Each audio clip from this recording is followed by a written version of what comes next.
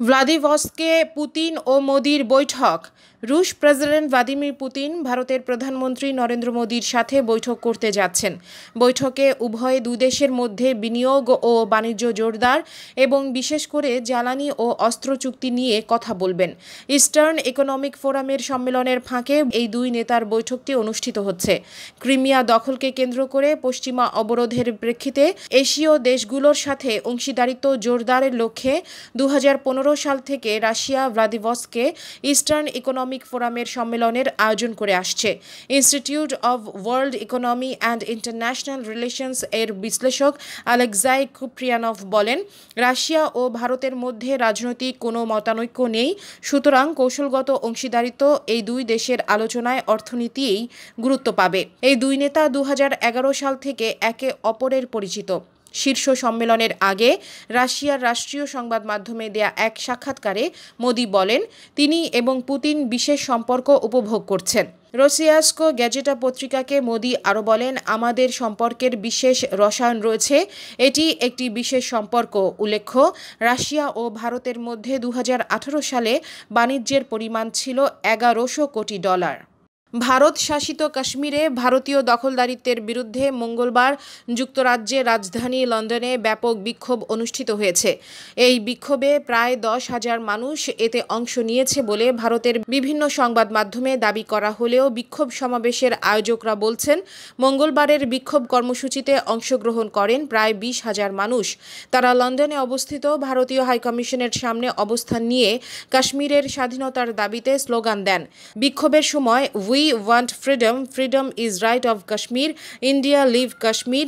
Terrorist, terrorist Modi, terrorist. Save Kashmir from BJP and RSS. Kashmiris need justice প্রভৃতি slogan দেন আন্দোলনকারীরা এক পর্যায়ে বিক্ষোভকারীরা ভারতীয় হাইকমিশন ভবন লক্ষ্য করে ডিম টমেটো জুতা বোতল পাথর সহ ধোঁয়া সৃষ্টিকারী বোমা নিক্ষেপ করে এতে ভবনের বেশ কয়েকটি জানালা ভেঙে যায় এদিকে বিক্ষোভকারীদের হামলার শিকার হওয়ার পর সামাজিক যোগাযোগ যোগাযোগ মাধ্যম টুইটারে কয়েকটি ভাঙা জানালার ছবি প্রকাশ করেছে লন্ডনের ভারতীয় হাইকমিশন।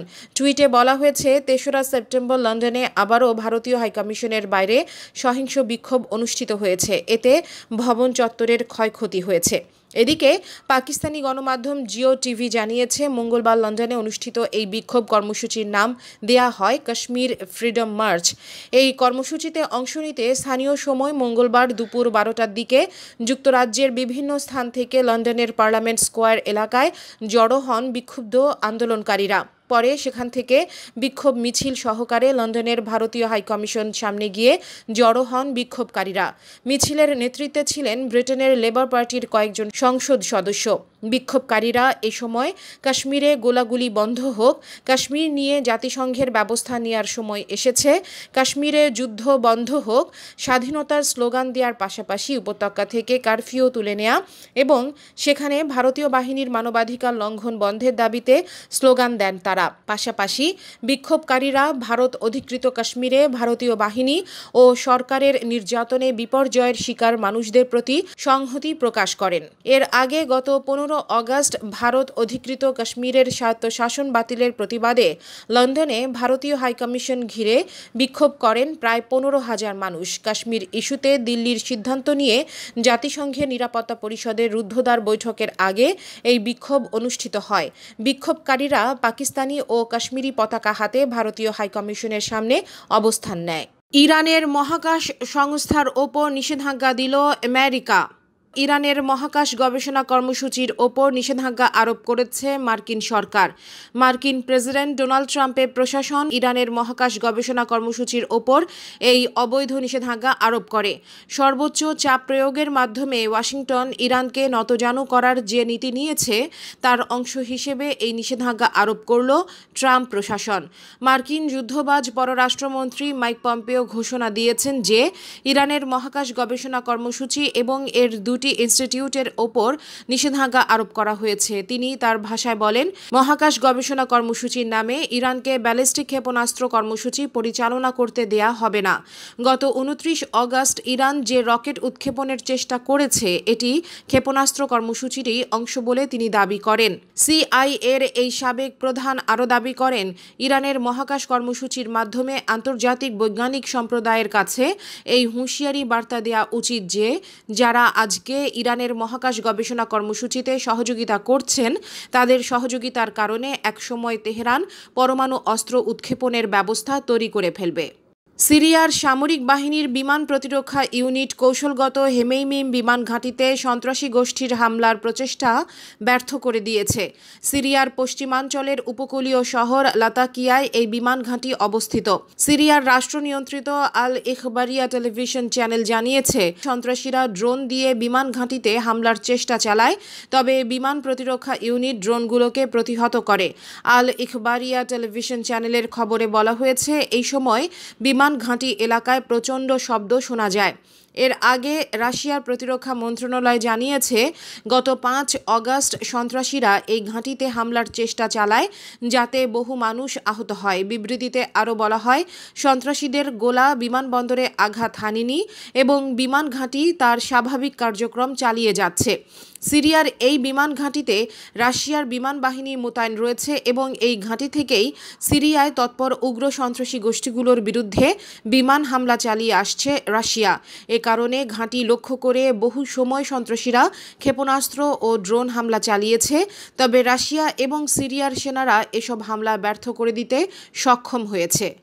ভারতের উগ্র হিন্দুত্ববাদের বিরোধিতা এবং তা প্রতিহত করা পাকিস্তানের রাষ্ট্রীয় পলিসি বলে মন্তব্য করেছেন পাকিস্তানের পররাষ্ট্রমন্ত্রী শাহ মাহমুদ কুরেশি। ইসলামাবাদে এক সেমিনারে দেয়া বক্তৃতায় তিনি বলেন, দেশীয় ও আন্তর্জাতিক ঘটনা প্রবাহকে সামনে রেখেই পাকিস্তানের পররাষ্ট্রনীতি নির্ধারণ করা হয়েছে। পররাষ্ট্রনীতিতে অগ্রাধিকার প্রাপ্ত কিছু বিষয় থাকে। উন্নত পররাষ্ট্রনীতির কারণে পাকিস্তান আন্তর্জাতিক অঙ্গনে একাকিত্ব থেকে বেরিয়ে এসেছে। আলোচনার মাধ্যমে পাকিস্তান সব সমস্যা নিরসনে আগ্রহী জানিয়ে মাহমুদ কুরেশি বলেন, প্রতিবেশী রাষ্ট্রগুলোর সঙ্গে সুসম্পর্ক আমাদের অগ্রাধিকারপ্রাপ্ত বিষয়। কাশ্মীর ইস্যুটি আমরা আলোচনার মাধ্যমে সমাধান করতে চাই। কিন্তু নরেন্দ্র মোদী হিটলারের নাৎসি বাহিনীর মতাদর্শে অনুপ্রাণিত। সাম্প্রদায়িকতার কারণে তিনি কোনো সমাধানে আসতে চান না। উগ্র হিন্দুত্ববাদের বিরোধিতা করা আমাদের রাষ্ট্রীয় নীতির মধ্যেই রয়েছে। কাশ্মীর থেকে দৃষ্টি সরাতে ভারত নতুন কোনো ইস্যু সৃষ্টি করতে পারে বলেও জানান পাক পররাষ্ট্রমন্ত্রী। পাকিস্তানের রেলমন্ত্রী শেখ শহীদ আহমেদকে ইসলামাবাদ জাতীয় প্রেস ক্লাবে ঢুকতে দেয়া ও সংবাদ কভারেজ করা হবে না বলে জাতীয় প্রেস ক্লাবের পক্ষ থেকে জানানো হয়েছে। মঙ্গলবার থেকে তার বিরুদ্ধে এই সাময়িক নিষেধাজ্ঞা কার্যকর করা হয়েছে। ক্যান্সারে চিকিৎসাধীন সাংবাদিককে অপমানজনক মন্তব্য করায় তার বিরুদ্ধে এমন ব্যবস্থা নেওয়া হয়েছে। এই খবর জানিয়েছে পাকিস্তানের প্রভাবশালী সংবাদ মাধ্যম ডন। এছাড়াও ভারত অধিকৃত কাশ্মীর নিয়ে যখন ইসলামাবাদ ও দিল্লির মধ্যে উত্তেজনা চলছে, তখন দুই প্রতিবেশী দেশের মধ্যে যুদ্ধের উস্কানি দিয়ে আলোচনায় এসেছেন তিনি। পাক, ভারত নিয়ে নানা মন্তব্য করে তিনি সংবাদের শিরোনাম হয়েছেন। প্রেস ক্লাবের সংবাদ বিজ্ঞপ্তিতে বলা হয়, রাওয়ালপিন্ডির বেনজির ভুট্টো হাসপাতালে ক্যান্সারের চিকিৎসারত জিও টিভি ভিডিও সাংবাদিক নাসিরের সঙ্গে এনপিসির সভাপতি শাকিল কারারের সাক্ষাৎ হওয়ার পরে এই সিদ্ধান্ত নেওয়া হয়েছে। নাসির এনপিসির সভাপতি শাকিল কারারকে জানান, সম্প্রতি রেলমন্ত্রী রশিদ হাসপাতাল সফরে যান। সেখানে থাকা একজন স্থানীয় সাংবাদিক নাসিরের অসুস্থের বিষয়টি মন্ত্রীর দৃষ্টি আকর্ষণের চেষ্টা করেন। এ সময় রেলমন্ত্রী অপমানজনক বাক্য ব্যবহার করেন। এই বিষয়টি নাসিরের অনুভূতিতে গভীরভাবে আঘাত করে।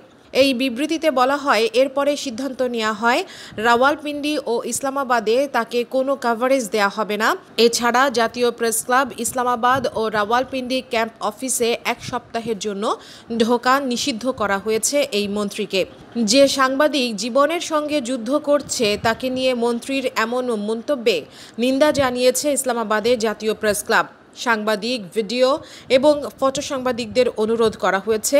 রশিদকে যেন সাত দিনের জন্য দেশের সব প্রেস ক্লাব নিষিদ্ধের বিষয়টি পালন করা হয়।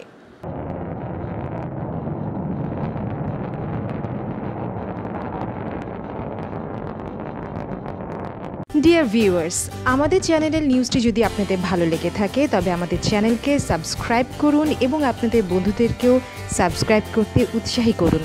নতুন নতুন নিউজ জানার জন্য আমাদের চ্যানেলের সাথেই থাকুন। ধন্যবাদ।